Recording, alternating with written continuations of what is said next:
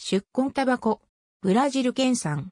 通常越冬しない一年草とされているが、強い霜の降りない地方では、越冬して干木状になることもある。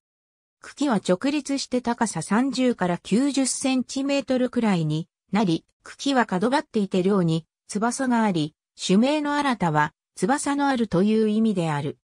葉は下の型のものは大きく、楕円型で長さ20センチメートルになることもある。上部の葉は防水型で合成する。花は7から10月頃に開花し、直径2から5センチメートル、ロート型で、先端は正常に五列する。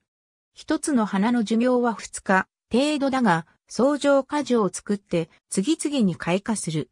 花色には紅、赤、紫、白、黄色などがあり、香りがあり、特に夕方から宵にかけて強く香る。比較的丈夫で栽培しやすい草花であるが、種はかなり細かいので注意して巻く必要がある。東京あたりで5月上旬に発種するのが良い。発芽して本葉が出たら排水が良く、半日以上日が当たるところに20センチメートルくらいの株まで定食する。乾き気味のやや痩せたところの方がよく開花する。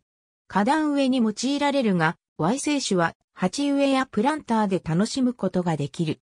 ありがとうございます。